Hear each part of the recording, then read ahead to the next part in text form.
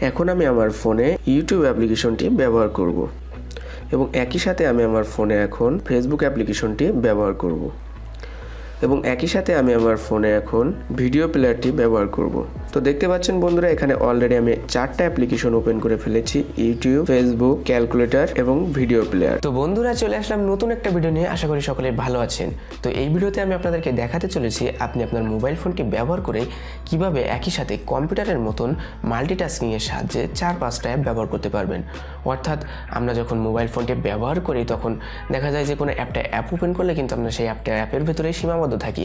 অন্য কোনো জায়গায় যেতে হলে আমাদের হোম স্ক্রিনে চলে আসতে হয়। তারপর একটা অন্য অ্যাপের ভিতরে আমরা যাই। কিন্তু আপনি এখন দেখতে পারবেন কীভাবে আপনি এক সাইডে ফেসবুক চালাবেন, এক সাইডে আপনার ফোনের স্ক্রিনের ইউটিউব চালাবেন, নিচে ক্যালকুলেটর রাখলেন, নিচে আর একটা ভিডিও প্লেয়ার রাখলেন। এইভাবে চার পাঁচটা অ্যাপ ঠিক কম্পিউটারের মতো কীভাবে ব্যবহার করবেন? তো চলুন দেখে আসি এই সেটিংটি আপনি আপনার ফোনে কীভাবে করবেন এবং কীভাবে আপনি একসাথে চার পাঁচটা অ্যাপ ব্যবহার করবেন। তো শুরু করার আগে একটা কথা না বললে নয়, আপনি যদি আমার চ্যানেলের নতুন দর্শক হয়ে থাকেন, তাহলে অবশ্যই চ্যানেলটি সাবস্ক্রাইব করে দিন এবং পাশে বেল আইকনটা অন করে দিন পরবর্তী ভিডিওর নোটিফিকেশন পাওয়ার জন্য। তো চলুন শুরু করা যাক।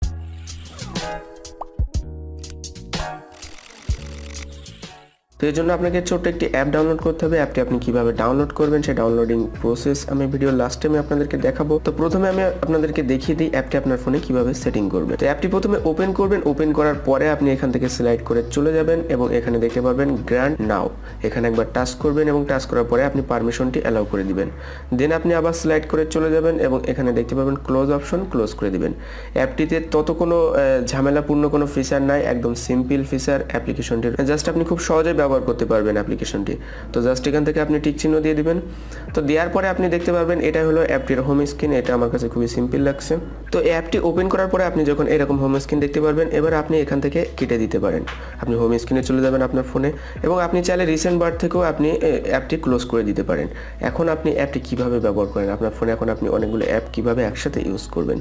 ঠিক কম্পিউটারে যেভাবে ইউজ করি আমরা। তো এখানে আপনারা দেখতে পারবেন একটা পপ আপ বাটন চলে আসছে। এটা আপনি আপনার হোম স্ক্রিনে যে কোনো জায়গায় রাখতে পারবেন।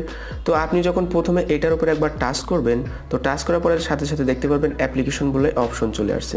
এবং এখানে আপনার ফোনে সব রকম অ্যাপ্লিকেশন পেয়ে যাবেন। তো ধরুন এখন আমি আমার ফেসবুকটি ব্যবহার করব। তো ফেসবুকের উপর একবার টাচ করলাম। টাচ করার সাথে সাথে আপনি দেখতে পাচ্ছেন ফেসবুকটি ওপেন হয়ে গেছে। এবং এখান থেকে আপনি চাইলে ছোট, বড় যেভাবে ইচ্ছা আপনি এটা ব্যবহার করতে পারেন এবং স্ক্রিনে যে কোনো জায়গায় রেখে ব্যবহার করতে পারেন। তো আপনি নিচের কর্নারের টাচটি হোল্ড করে একবার যদি টান দেন, যেদিকে ইচ্ছা আপনি যেমন ইচ্ছা ছোট, বড় করে অ্যাপ্লিকেশনটি কিন্তু ব্যবহার করতে পারবেন। তো এখন জাস্ট আমি একটা অ্যাপ্লিকেশন ওপেন করলাম, এবার এখন দেখা যাচ্ছে আমি ইউটিউব ইউজ করব। তো এখন চলে যাবেন সেই পপ আপ বাটনে যাওয়ার পরে আপনি দেখতে পারবেন ইউটিউব বলে একটা অপশন আসছে। এখানে টাচ করে টাচ করার সাথে সাথে দেখতে পাচ্ছেন ইউটিউব অ্যাপ্লিকেশনটি ওপেন হয়ে গেছে। এবং এখান থেকে কিন্তু আপনি ইউটিউবে যে কোনো ভিডিও প্লে করতে পারবেন। এখন দেখা যাচ্ছে আমার একটু হিসাব করা প্রয়োজন, আমার একটু ক্যালকুলেটার অ্যাপ্লিকেশনটি ওপেন করা প্রয়োজন। একই সাথে আমি ফেসবুক ব্যবহার করছি বা ইউটিউব ব্যবহার করছি, এই সময় আমার ক্যালকুলেটার অ্যাপ্লিকেশনটি ওপেন করা প্রয়োজন। তো আপনি পপ আপ বাটনে আবার টাচ করবেন এবং এখানে অনেকগুলো অ্যাপ্লিকেশন আছে। আপনি মিউজিক প্লেয়ার দেখতে পারবেন ক্যালকুলেটার দেখতে পারবেন। তো ক্যালকুলেটারে টাচ করবেন ক্যালকুলেটারে টাচ করার সাথে সাথে দেখতে পারবেন একটা সুন্দর ক্যালকুলেটার চলে এসেছে এবং এখান থেকে আপনি আপনার হিসাবগুলো কিন্তু খুব সহজেই কমপ্লিট করে নিতে পারেন স্ক্রিনের উপরেই। তো এই অ্যাপ্লিকেশনটির আরও সুন্দর সুন্দর অনেক ফিচারগুলো আছে। যেমন ধরুন আপনার গুগল ট্রান্সলেট তারপর এস্টাপস রেকর্ডিং মিউজিক প্লেয়ার আপনি এখান থেকে মিউজিক ব্যাকগ্রাউন্ডে মিউজিক চালাতে পারবেন। তো আপনি কিন্তু চাইলে অ্যাপ্লিকেশনটি এখান থেকে কর্নারে সরিয়ে রাখতে পারেন, অর্থাৎ হাইড করে রাখতে পারেন। ব্যাকগ্রাউন্ডে চলবে, এরকম করেও রাখতে পারেন। তো এই যে দেখতে পাচ্ছেন, আমি সবগুলো অ্যাপ্লিকেশন এখন হাইড করে দিলাম। এখানে দেখতে পাচ্ছেন ফেসবুক ইউটিউব ক্যালকুলেটার তারপর যদি আমি প্লে স্টোরে চলে যাই প্লে স্টোরে যাওয়ার পরে আমি দেখা যাচ্ছে প্লে স্টোর ঘাটাঘাটি করছি, এমন সময় আমার ফেসবুকটি চালানোর প্রয়োজন। ফেসবুকটি চলে আসলো। এটা আবার এখান থেকে হাইড করে দিলাম। এমন সময় দেখা যাচ্ছে আমার একটু হিসাব করা প্রয়োজন। ক্যালকুলেটারে টাচ করলাম ক্যালকুলেটারটি চলে আসলো। এটা আবার একটু হাইড করে দিলাম। তো বন্ধুরা, এখন আমি আপনাদেরকে দেখাবো অ্যাপ্লিকেশনটি আপনি কীভাবে ডাউনলোড করবেন। তো অ্যাপ্লিকেশনটি আপনি আপনার ফোনে প্লে স্টোরে অ্যান্ড্রয়েড ফোনে প্লে স্টোরে ফুল ফ্রি ভার্সনে পেয়ে যাবেন। তো আপনি ডাউনলোড করার জন্য প্লে স্টোরে চলে যাবেন। প্লে স্টোরে যাওয়ার পরে আপনি সার্চ অপশনে লিখবেন floating apps F L O A T I N G floating apps লিখে সার্চ দেওয়ার সাথে সাথে আপনি সেকেন্ড নম্বরে একটা অ্যাপ্লিকেশন দেখতে পারবেন। এখানে দেখতে পাচ্ছেন ফ্লোটিং অ্যাপ ফ্রি মাল্টিটাস্কিং এই অ্যাপটি আপনি ডাউনলোড করবেন।